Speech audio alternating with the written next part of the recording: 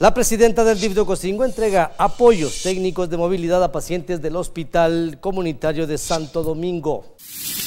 La licenciada María de los Ángeles Velázquez Loza, presidenta del DIF municipal en Ocosingo, asistió a la localidad de Santo Domingo, donde personalmente donó sillas de ruedas, bastones de cuatro puntos y muletas a los pacientes del Hospital Comunitario de Santo Domingo. Velázquez Loza reiteró su compromiso por atender los sectores más vulnerables. Tenemos como prioridad apoyar a las familias en situación difícil y que por sus condiciones socioeconómicas no puedan obtener los apoyos técnicos para mejorar su movilidad de forma cotidiana, mencionó la presidenta El DIF municipal continuará realizando acciones como estas, ya que las sillas de ruedas, muletas y bastones permiten a los pacientes crear una mayor independencia en la movilidad, permitiendo con ello que tanto el beneficiado como sus cuidadores puedan desempeñarse en otras actividades de desarrollo. La presidenta señaló que en su administración estará recorriendo a lo largo y ancho de la geografía municipal, ya que permitirá conocer y llevar los beneficios de manera directa a las familias que van, que en verdad lo requieren. Por su parte, el director del Hospital Comunitario de Santo Domingo,